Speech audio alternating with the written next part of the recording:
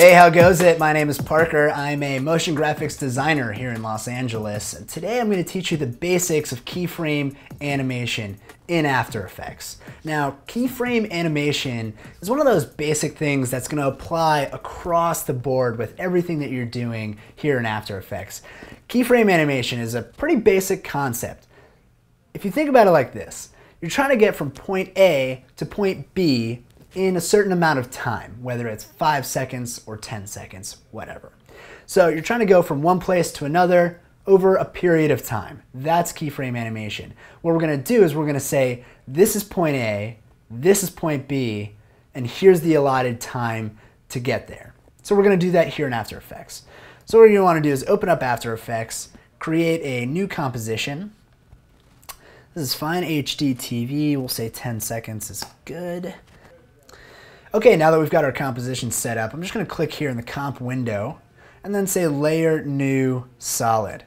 That's gonna give me the option here to make a solid of any size, you know, any color, things like that. So I'm just gonna say make comp size. So that's the same as my window.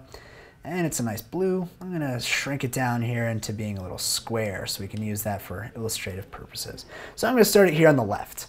So if I just scrub my little transform down here in the timeline, you'll see that you have a number of different things that you can change over time. It's not just where it is, you can also change the scale, how big it is, if it's spinning, how many times. There's a lot of different things that you can change over time. Actually, any of the effects, anything you can really change over time in keyframe animation here in After Effects. We're just gonna do a basic position left to right, okay? So what we'll do is we'll start at zero seconds in our timeline. Then we're gonna turn on this little stopwatch here next to position. What that does is it creates a keyframe and says, at this point in time, this is where we are. Then I'm gonna scrub forward, say five seconds. So we'll go to the five second mark. And then what I can do is I can change the position again in a couple different ways. One, I can grab here on the little number um, position thing and you'll see the hand change it, the cursor changes to a little hand with a scrubber. And if I just drag that, it'll actually just change that number over to 977 we've got. I also could click on it and type in, say, 976. Hit enter, and it'll go to that point.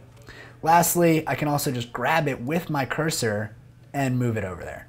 Now, if I wanted it to go in a straight line, I would hold shift to get there and it'll go in a straight line. It'll also do various angles as well, like say up and down, whatever. Right now I'm going left to right. So that's how you can move it. And now you'll see when I got to that point at five seconds, it created a new keyframe. So now it's got two to work with. It's got my point A here, and it's got my point B here. And it knows that over those five seconds, that's how it's gonna get from there to there. So that's the basic of keyframe animation. You want to get from point A to point B, or you want to change a parameter, say from, you know, very small to very large over that same amount of time. And that can apply to everything. So that's the basics of keyframe animation. That's going to help a lot with you know everything animating down the road. So try a couple different things. Try a scale, try rotation, change some things over time, and you'll see how it animates. It's pretty cool stuff. Hope you learned something. Again, my name is Parker. Send any requests that you've got to requests at mahalo.com. Have a good one.